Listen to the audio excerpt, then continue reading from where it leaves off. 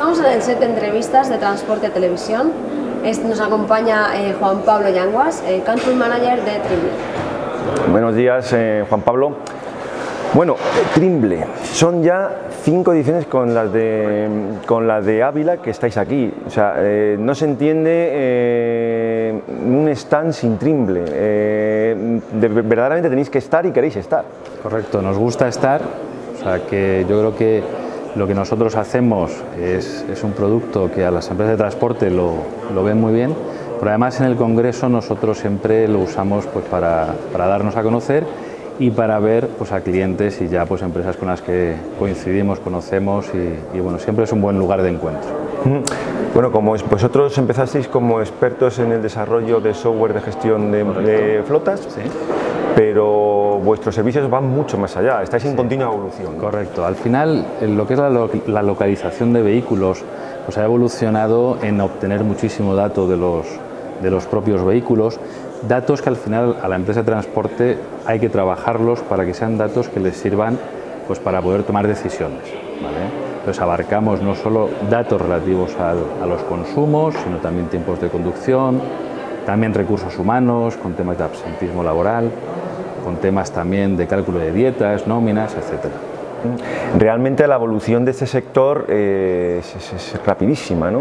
Eh, continuamente creciendo, continuamente nuevas soluciones, continuamente evoluciones de los software. Correcto. No dejamos de ser un sector tecnológico y al final los sectores tecnológicos pues tienen una evolución muy grande. Además en Trimble pues también hacemos una gran inversión en I+.D. porque hay que estar constantemente haciendo nuevos desarrollos. Pero vosotros básicamente trabajáis con vuestros clientes.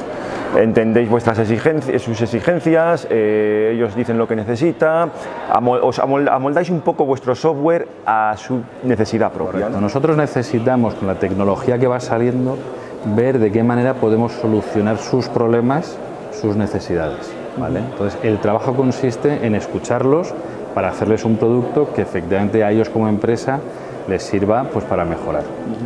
¿Hacia dónde va este sector? Buena pregunta. al, final es un sector que va al tratamiento del dato, es decir, la, información no deja de ser poder y en, la empresa de transporte saber dónde están los vehículos, consumos, ratios, etcétera, es, un valor añadido que a la empresa de transporte le sirve mucho.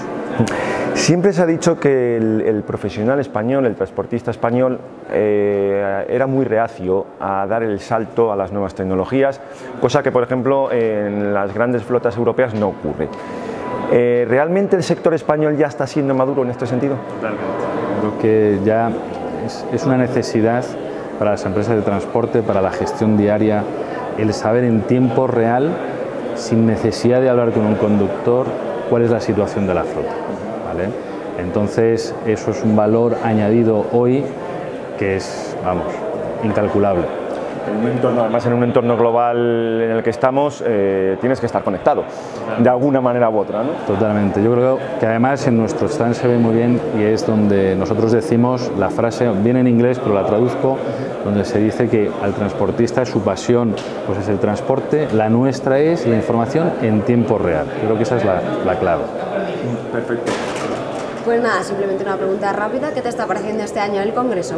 Pues me está, me está gustando mucho. Al final yo creo que el, poder ver pues, empresas colaboradoras, empresas de transporte con las que tenemos contacto, sean clientes o no, pues la verdad que este año nos, nos está dando mucha, muchas cosas buenas, totalmente. Pues muchísimas gracias. Gracias Juan Pablo. A vosotros siempre, muchas gracias. Recordad que todas estas entrevistas la podéis ver en nuestro canal de YouTube Transporte TV, además de la actualidad del transporte.